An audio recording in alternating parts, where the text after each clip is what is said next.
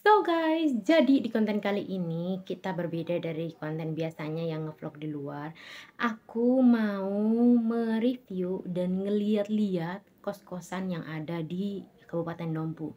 Soalnya secara kita tahu ya bahwa Dompu ini kan bukan kota pelajar, bukan kota besar, bukan juga pokoknya kabupaten kabupaten yang hampir kayaknya uh, kalau orang sebut di luar sana mungkin orang nggak tahu Kabupaten Dompo itu yang mana gitu. Kalau nggak disebut Bima atau nggak Sumbawa gitu ya. Nah kali ini aku bakalan uh, mereview kos-kosan yang ada di Kabupaten Dompu tapi melalui Google. Kita bakalan lihat di mana aja letak kos-kosan dan bagaimana penampakan daripada kos-kosan tersebut gitu.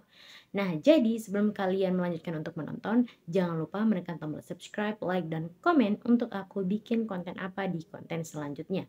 Yuk, kita langsung aja.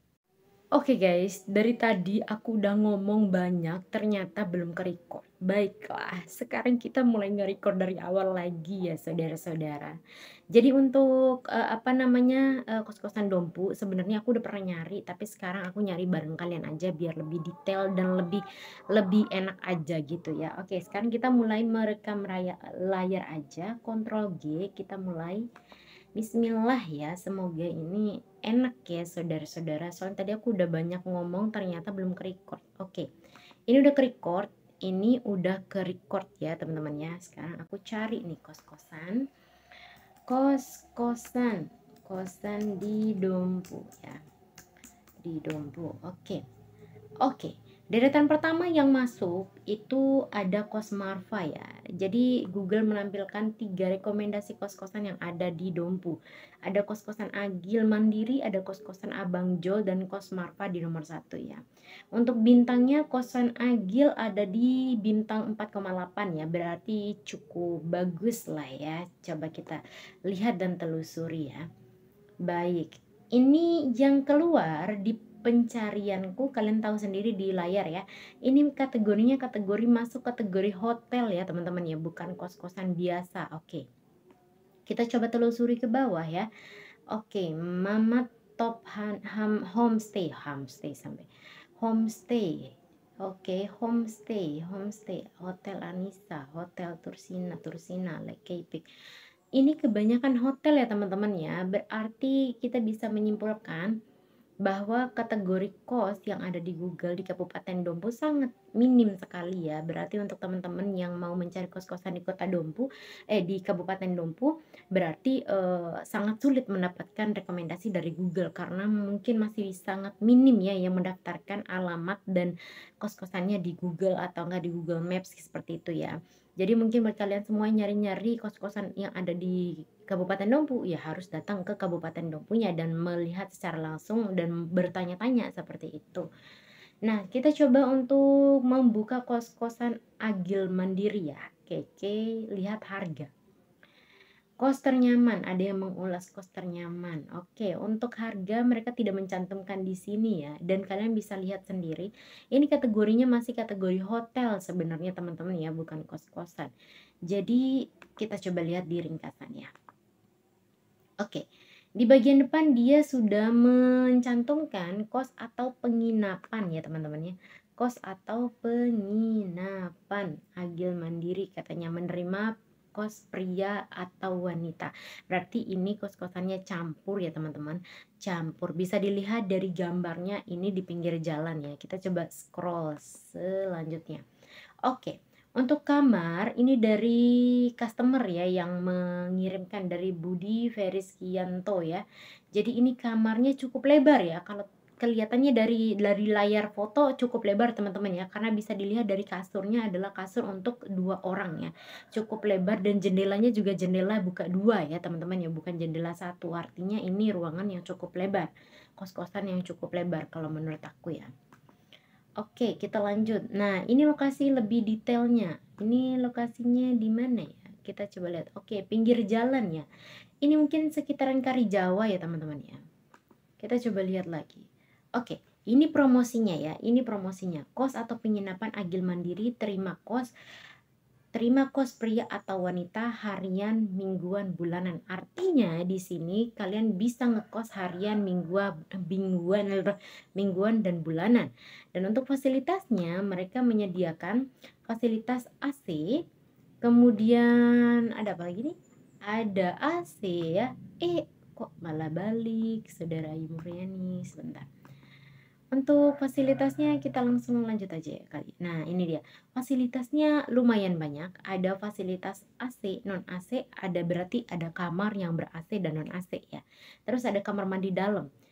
Setauku ya di MTB ini kayaknya kamar mandi kos-kosan itu hampir-hampir ya, hampir ini enggak semua ya. Hampir semuanya yang di NTB kamar mandi dalam dengan harga yang cukup murah ya kalau menurutku ya. Nah, ada AC kamar AC atau non AC kalian bisa milih ya. Terus ada kamar mandi dalam, ada spring bed, ada lemari, ada meja cermin, ada TV kabel, ada CCTV juga. Berarti ini cukup aman ya teman-teman. Dan ada free wifi. Jadi buat mahasiswa ah, kampus di Dompu ini baru ada dua mungkin ya atau nggak tahu ya. Aku belum pernah update untuk kampus yang ada di Kabupaten Dompu ya. Dan ini free wifi teman-teman ya. Untuk kalian yang tertarik mau ngekos di Kabupaten Dompu bisa langsung menghubungi nomor yang ada di uh, layar ya. Jadi aku tidak akan mencantumkan, kalian bisa mencatat sendiri ya. Oke kita lanjut. Oh iya, untuk lokasinya ini ada di Karijawa teman-teman. Jadi ini lokasi yang biasa aku lewatin untuk ngevlog sehari-hari. Biasanya aku ke Dompu ini pasti melewati uh, lampu merah ini. Dan nyatanya lampu merah yang ada ini teman-teman cuman ada lampu merah dan ini tidak berfungsi ya lampu merahnya. Jadi kendaraan itu lalu lalang ya senyamannya mereka aja gitu. Jadi tidak ada uh, tidak ada aturan yang terlalu ketat seperti itu ya. Jadi lampu merahnya nggak nyala saudara ya. Cuman ada aja. Cuman lokasinya tuh eh bentuknya tuh ada tapi berfungsi tidaknya tuh tidak gitu ya. Baiklah ini lokasinya di pinggir jalan di Kali Jawa. Kalian bisa langsung ya. Ini deket banget berarti ya dari sini ya paling 5 menit sampai 6 menit lah pakai motor ya. Oke, ini lumayan ada dua lantai ya, ada beberapa kamar dan bisa kalian langsung pilih. Kita coba lihat yang lain ya untuk rekomendasi kos-kosan yang lain. Kita coba lihat untuk uh, Marfa, Marfa. Kosan Marfa ini paling nomor satu ya di Karijawa juga ya. Di Karijawa dan foto-fotonya masih sangat minim ya teman-temannya. Ini seperti rumah ya kos Marfa ini ya teman-temannya. Iya, kelihatannya foto yang dicantumkan di Google sangat minim ya. Jadi jadi nggak bisa nih aku detailin untuk fasilitas dan lebar dan gimana nya nggak bisa kelihatan karena memang ini itu uh, sangat minim ya anu rekomendasi dan foto-foto yang dicantumkan ya teman-teman. Jadi kita lewat ya. Seperti itu. Kita lihat coba yang lain. Kalau di Dompu itu kebanyakan memang kebanyakan homestay atau hotel. Karena kos-kosan mungkin tidak menjadi tidak menjadi salah satu apa namanya mata pencarian ya. Karena orang kan kadang pindah-pindah tergantung kenyamanan. Pertama dan biasanya yang mencari rumah atau kos-kosan di Dompu adalah suami istri mungkin ya. Karena mahasiswa di sini mungkin mahasiswa yang masih berasal dari Dompu atau nggak dari Bima dan mereka masih bisa bolak-balik gitu ya. Jadi untuk ngekos itu kan berarti akan mengeluarkan aku apa biaya biaya hidup lagi gitu ya. Jadi mungkin mereka memilih untuk bolak-balik seperti itu.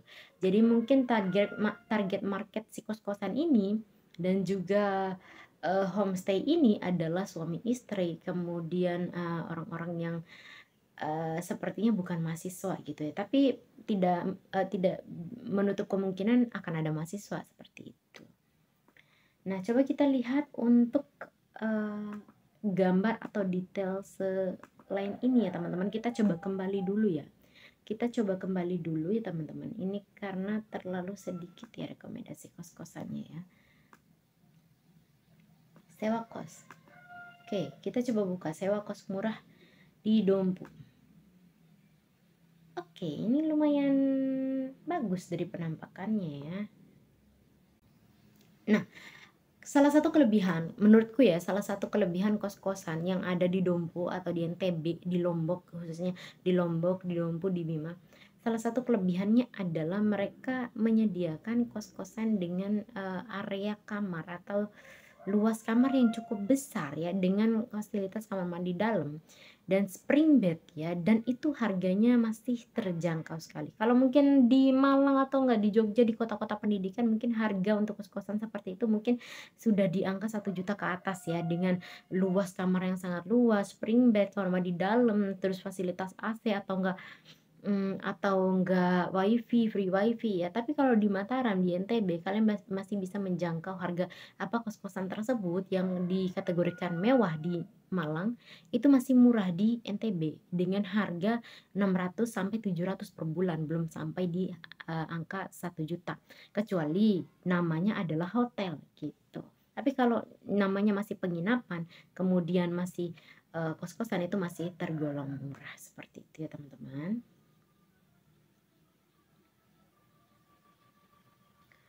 Oke. Mungkin mungkin itu sekian dulu dari aku ya teman-teman. Selanjutnya kita akan bahas lagi beberapa mungkin kita akan mencari tahu apa aja fasilitas yang ada di Kota Dompu dan membahas tentang berbagai hal yang bisa kalian telusuri di Kota Dompu. Nah, thank you for watching. Don't forget to subscribe, like, dan komen. Wassalamualaikum warahmatullahi wabarakatuh.